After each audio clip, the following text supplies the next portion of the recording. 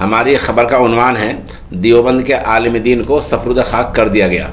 دیوبند کے ممتاز عالم دین، اکہتر سالہ مولانا حسن الحاشمی کو نم آنکھوں کے ساتھ سفرد خاک کر دیا گیا ہے۔ نماز جنازہ دعلوم وقف، دیوبند کے محتم اعلیٰ مولانا محمد سفیان قاسمی مدد اللہ نے پڑھائی ہے۔ پس ماندگان میں تین بیٹے اور چار بیٹیاں ہیں۔ آئیے تھوڑا مرحوم کی زندگی پر نظر ڈال لیتے ہیں۔ مولانا مرحوم دس اپریل انیس سو انچاس کو پیدا ہوئے۔ انیس سو تریسٹھ میں حفظ قرآن کریم کی دولت حاصل کی۔ مختلف مساجد میں انیس محرابیں سنائیں۔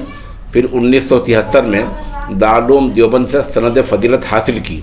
اور مولانا عامر عثمانی کے انتقال کے بعد مشہور معروف ماہنامہ تجلی کے پانچ برس تک ادارت کے فرائض انجام دیے۔ مولانا حسن احمد صدیقی یعنی اصل نام ان کا حسن احمد ہے۔ مولانا حسن احمد صدیقی ایک ذہین فتین تحریر و قلم کے میدان میں امتیاز رکھتے تھے۔ وہ ممتاز تھے۔ ان کی تحریر جاذبیت کی حامل تھی اور اسلوب والی تھی، شگفتہ تھی۔ انیس سو چھیاسٹھ سے مولانا کا قلمی سفر شروع ہوا۔ ماہنامہ بنت ہوا ممبئی۔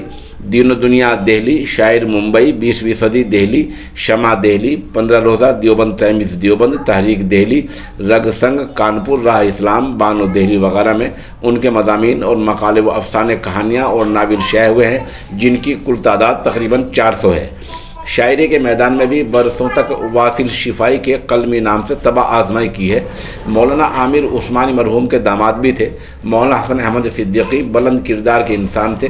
دیوبند کے ضرورت مندوں کی ایک بڑی تعداد ان کے ہمدردانہ تعاون سے مستفید ہوتی رہی ہے۔ تقریباً اکتر اکہتر برس کی عمر پائی ہے۔ آج ان کی تدفین پر اور ان کی وفات پر نامور اہل علم نے غم کا اظہار بھی کیا ہے تہذیت کی ہے۔ ان میں مولانا سفیان قاسمی نے کہا کہ مرحوم دیوبند کی تہذیب کے امین واجش تھے۔ مولانا محمد اسلام نے کہا وہ متوازے اور صاحب قلم تھے۔ مفتی عفان منصور پوری نے کہا وہ قومی اور ملی مسائل میں دلچسپی لینے والے، دلچسپی لینے والے عالم دین تھے۔ ممتاز عالم دین مولانا ندیم الواجد نے کہا وہ ان کے درسی ساتھی تھے اور اپنے فن میں کامیاب تھے۔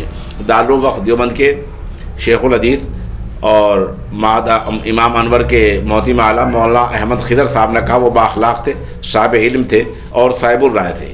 مولانا نسیم اختر شاہ قیصر نے مرحوم کے اخلاق کی تعریف کی ہے۔ ملی کونسل سہارنپور کے صدر مولانا ڈاکٹر عبد المالک مغیثی نے اس موت کو ملی نقصان قرار دیا ہے۔ تدفین میں شریک ہونے والوں میں مولانا اظہر مدنی، مولانا اسلام قاسمی، قاسم پالنپوری، امجد مدنی، مفتی احسان فدیل ناصری، مفتی عارف، قاری فوزان، مفتی واصف، سید وجہت شاہ، سہیل صدیقی، سلیم عثمانی وغیرہ کے نام قابل ذکر ہیں۔ تعزیت کنندگان میں مفتی محمد ناصر ایوب ندوی، مولانا مرسلین زبیری، مولانا امجد مجید قاسمی، مولانا برکت اللہ امینی، مولانا اشتد الرحمان مولانا جاوید ندوی وغیرہ کے نام قابل ذکر ہیں۔ یہ رپورٹ سوشل انڈیا نیوز کے لیے دیوبند سے جناب رضوان سلمانی نے بھیجی ہے۔